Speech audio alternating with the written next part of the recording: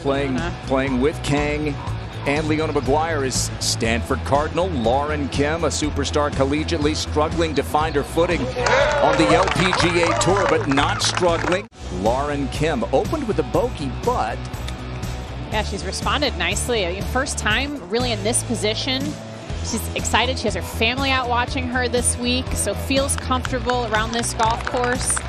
And, and I've been impressed the way she's handled the pressure so far today. should roll that in for birdie. It is that, Tom. This playing downwind today, so some of the longer players will be able to get there in two. I think Lauren's going to struggle to get there in two, but it's a nice drive down the fairway. Good golf swing. Very solid looking. Yeah, you wonder, you know, where all the struggles have come from with a swing like that. Yeah, had a nice layup. This is 75 yards. Again, does play uphill, but it is downwind. Playing from so far below the green surface, you will expect a little bounce. It's a good shot there. It's going to come back a little bit. Well, it all went horribly wrong from the tee shot, just left and then right. Oh dear. They were told they were on the clock when they were finishing the ninth hole, and she tugged her tee shot left and pays the price. She's pretty much played very quickly up until this putt. It was much slower getting over this putt. There you go. She she slowed things down.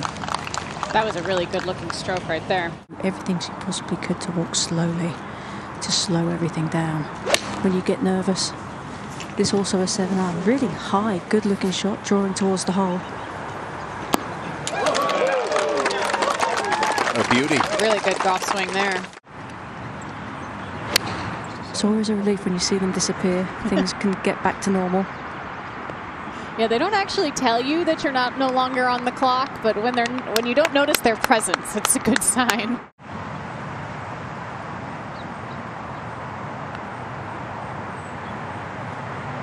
Decent looking stroke there.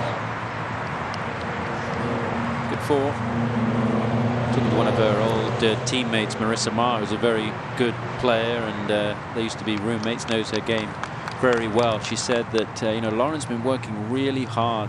Now Lauren Kim. This is going to be a smooth eight iron.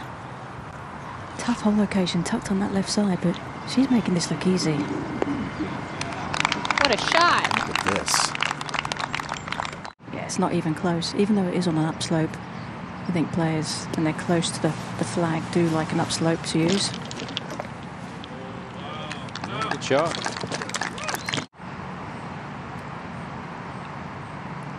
Okay. No damage, but a, an opportunity missed there for Lauren Kim. Sometimes you just don't see the results as quickly, and to keep trusting it and keep moving forward is all credit to her. Absolutely. You can feel like you're beating your head against a wall at some point, just waiting for the results to come.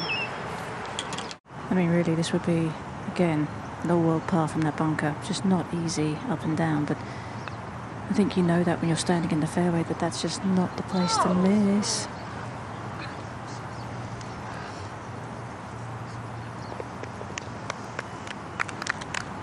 She's withstood a double bogey at the 10th.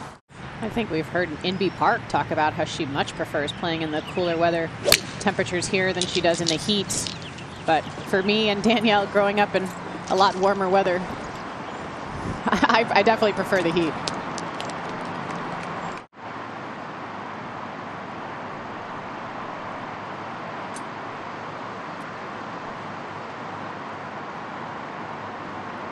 Oh, Leona Maguire and the she's blocking our view, but it's a pretty good. Yeah, Leona jumped in there to to take a look at the line. Don't often see that in uh, such dramatic fashion. I know. Well, I think she's just got to keep her eye on the prize. Just keep playing her game, not trying, not think about the potential of what may happen, what could happen. And that's just down the left side. That'll be fine. Yeah, I think she's played really well today. She's had been thrown a couple curveballs, but settled herself back in. Just got to be really precise. That's a 54.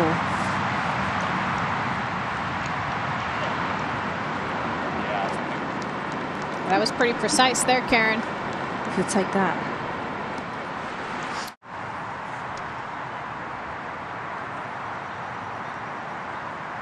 Look at that. She overcomes a double bogey.